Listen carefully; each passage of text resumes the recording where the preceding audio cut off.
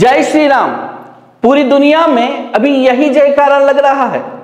2024 में सिर्फ़ साल ही नहीं बदला बदला है पूरा का पूरा युग, जिसका आगाज़ आगामी 22 जनवरी को होने जा रहा है। शुरुआत सनातन की ताकत की है, जिसका आरंभ ही प्रचंड है। देवादिदेव प्रभु श्री राम की जन्मभूमि अयोध्या के नवनिर्मित मंदिर में राम लला की नीले पत्थर से बनी इक्यावन इंच की खड़ी प्रतिमा का शिलान्यास होने जा रहा है। इस शुभ दिन का पूरे देश को बेसब्री से इंतज़ार है। मेवाड़, वागड़ के राम भक्तों को अयोध्या नगरी और प्रभु श्री राम से जुड़ी तमाम धरोहरों को कैमरे की नज़र से संजोकर दिखाने का संकल्प दक्षिणी राजस्थान में सबसे ज़्यादा देखे जाने वाले उदयपुर न्यूज़ ने लिया और मेवाड़ की गंगा माने जाने वाली पिछोला झील के राम घाट से दर्जनों भक्तों की मौजूदगी में पवित्र जल कलश लेकर अयोध्या की सरयू सरोवर में समाहित करने के लिए राम से राम तक की हमारी धार्मिक यात्रा का शुभारंभ हो गया। आइए, सबसे पहले आपको बताते हैं कि दक्षिणी राजस्थान से धर्मनगरी अयोध्या तक कैसे पहुँचा जा सकता है और उसके कौन कौन से रास्ते हो सकते हैं? दक्षिणी राजस्थान से अयोध्या जाने के तीन मार्ग हैं। वायु मार्ग रेल मार्ग और सड़क मार्ग। अगर आप वायु मार्ग से जाना पसंद करते हैं तो उदयपुर से दिल्ली और दिल्ली से सीधे अयोध्या भी जा सकते हैं। या कानपुर और लखनऊ एयरपोर्ट पहुंचकर सड़क मार्ग से अयोध्या पहुँच सकते हैं। उदयपुर से दिल्ली ठहराव के बाद अयोध्या की हवाई यात्रा का शुल्क करीब करीब दस हज़ार प्रति व्यक्ति लग सकता है। वहीं अगर आप रेल मार्ग से जाना पसंद करते हैं तो कवि गुरु एक्सप्रेस से 1240 किलोमीटर की दूरी पूरी करके अयोध्या तक जा सकते हैं। 25 घंटे के इस सफ़र का प्रति यात्री शुल्क करीब सत्रह सौ रुपए आता है। वहीं उदयपुर से ट्रेवल्स और रोडवेज़ बसों के माध्यम से भी अयोध्या पहुँचा जा सकता है। लेकिन अभी यहाँ से लखनऊ तक की ही बस सेवा है, जिसका शुल्क करीब प्रति व्यक्ति बारह सौ रुपए आता है। लखनऊ से हर घंटे बस 130 किलोमीटर की दूरी तय कर अयोध्या पहुँचती है। वहीं आप अपनी कार या टैक्सी से भी अयोध्या पहुँच सकते हैं। उदयपुर से अयोध्या जाने तक के दो सड़क मार्ग हैं। पहला, उदयपुर से कोटा बारा शिवपुरा, झांसी, कानपुर, लखनऊ और अयोध्या।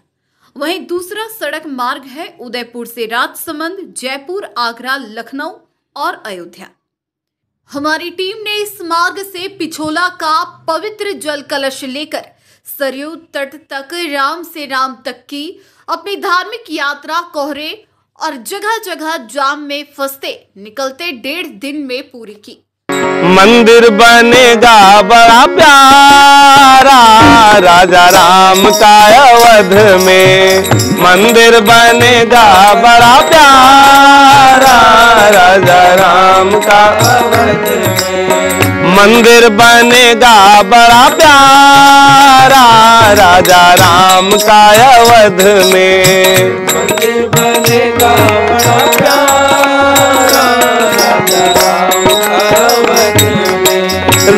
का अवध में राजा, राम का अवध में, राम का अवध में राजा, राम का अवध में। राम का अवध में राजा, राम का अवध में, राम का अवध में राजा, राम का अवध में। अद्भुत अद्भुत अद्भुत होगा नज़ारा। राजा राम का अवध में अद्भुत होगा नज़ारा। राजा राम का आ मंदिर बनेगा बड़ा प्यारा। राजा राम का अवध में मंदिर बनेगा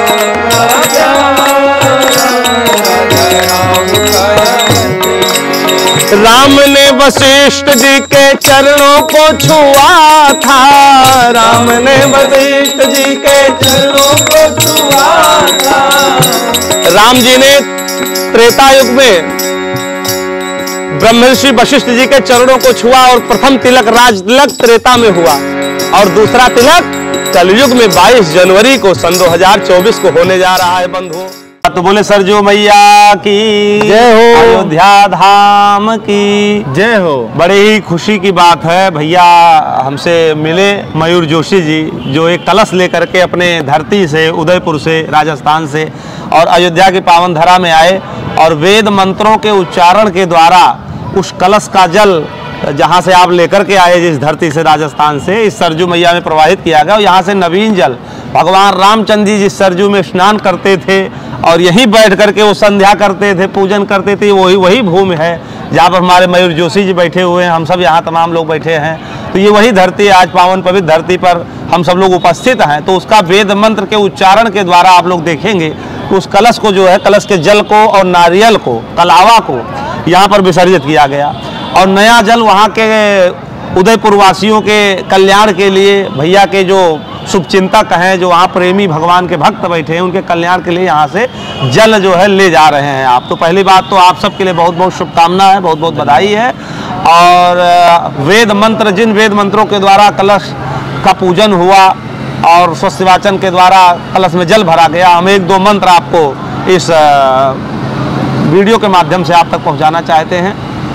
ॐ भद्रं कर्णेभ्ये शृणुयाम देवा, भद्रं पश्येमाच्छवीर्यजत्राः स्थिरैरङ्गैः सुष्ठवाग्गुंसस्तनोभिर्वसेमहि देवहितं यदायुः। ॐ तच्चक्षुर्देवहितं पुरस्ता शुक्रमुच्चरत पश्येम शरदा शतं जीवेम शरदा शतं शृणुयाम शरदा शतं पब्रवाम शरदा शतम् अदीनः श्याम शरदा शतं भूयश्च शरदा शतात् ॐ यतो यतः समीहसे ततो नो अभयं कुरु शन्ना कुरु प्रजाभ्यो अभयं न पशुभ्यः सुशांतिरभवतु तो ये हमारे वेदों का मंत्र है। जो वेद पावन पवित्र है जिस वेद के मंत्रों का उच्चारण मर्यादा पुरुषोत्तम भगवान श्री रामचंद्र जी भी वेद पुराण सुनहि मन लाई आप कहें अनुजह समझाई। स्वयं सुनते थे और अपने भाइयों को अपने इष्ट मित्रों को भी वो वेद का मंत्र सुनाते थे। ये इतना पावन और पवित्र वेद मंत्र है और इसी मंत्र के द्वारा कलश का पूजन हुआ वंदन हुआ। जी। सभी राजस्थान से अयोध्या आवा जाए और यहाँ पर भगवान रामचंद्र जी के दर्शन करके, उनके जन्मभूमि के दर्शन करके अपने जीवन का सफल बनावे, क्योंकि मानव जीवन का यही उद्देश्य बा गोस्वामी तुलसीदास जी, रामचरित मानस में अवधि में लिखे बाटे कि बड़े भाग्य मानुष तन पावा और सुर दुर्लभ सदग्रंथ ही गावा। तो मनुष्य का शरीर भैया बहुत तपस्या से और कई जन्म के पुण्य से मिला है। और वहू बड़ा पुण्य कौनो रहा जो राम जन्म भूमि दर्शन करे सौभाग्य मिला है। तो आप सब ही 22 जनवरी सन 2024 को हमारे रामलला जो है अपने गर्भगृह प्रविष्ट हो गई हैं, अपने स्थान पर आई गई हैं। तो आप सबसे निवेदन है राजस्थान वासियों की, हमारे मयूर भैया की तरफ़ से, इनकी टीम की तरफ़ से, न्यूज़ की तरफ़ से, आप सब ही यथा समय समय निकाल के और ज़रूर से ज़रूर यहाँ पर जो है आए के दर्शन करें। क्योंकि जो विरोधी लोग बाटे वो तो लगातार विरोध करते ही बाटे लेकिन उनके विरोध से कोनो फ़र्क पड़े वाला नहीं बा। और एक बहुत सुंदर पंक्ति बहुत प्रसिद्ध बा। कि कायदे में रहबा तो फ़ायदे में बेशक पहन लो हमारे जैसे कपड़े और जेवर। हम लास्ट में कहत बाटी कि बेशक पहन लो हमारे जैसे कपड़े और जेवर लेकिन कहाँ से लाओगे हम राम भक्तों जैसे तेवर? तेवर। कहाँ से लाओगे हम राम भक्तों जैसे तेवर? बोले अयोध्या धाम की। जय हो। तो चौरासी लाख योनियाँ पार करने के बाद हमें मनुष्य जन्म मिला है और ऐसे राम जन्मभूमि के दर्शन करने के लिए हम आए हुए हैं। अयोध्या धाम में है तो हम तो काफ़ी खुश नसीब हैं क्योंकि हम अयोध्या धाम में हैं। बुला रहे हैं प्रभु श्री राम, आप भी आए अयोध्या धाम। अयोध्या से आप सभी को राम राम। जय सिया राम। मेवाड़ की गंगा माने जाने वाली पिछोला झील का पवित्र जल अयोध्या की पावन सरयू सरोवर में मंत्रोच्चार के साथ समाहित करने के बाद वहाँ से बहने वाली पवित्र जल राशि को भी उसी कलश में मंत्रोच्चार के साथ भरा गया, जो आगामी 22 जनवरी को पिछोला झील के रामघाट में पूजा अर्चना के बाद झील में विसर्जित किया जाएगा। अयोध्या से जुड़ी बहुत सी ऐसी अनछुई कहानियाँ हैं, जिन्हें शायद आपने भी कभी नहीं सुना होगा। उन सभी को सिलसिलावार आप तक पहुँचाने का संकल्प हमारा है। हमारी खास पेशकश अयोध्या से राम राम का एक भी एपिसोड आप देखना न भूलें।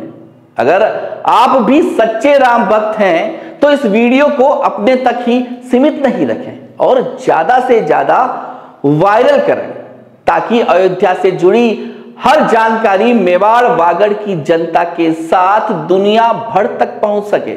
और हर मन इसे देखने के बाद जय श्री राम का उद्घोष करते हुए अयोध्या जाने के लिए निकल पड़े। नमस्कार।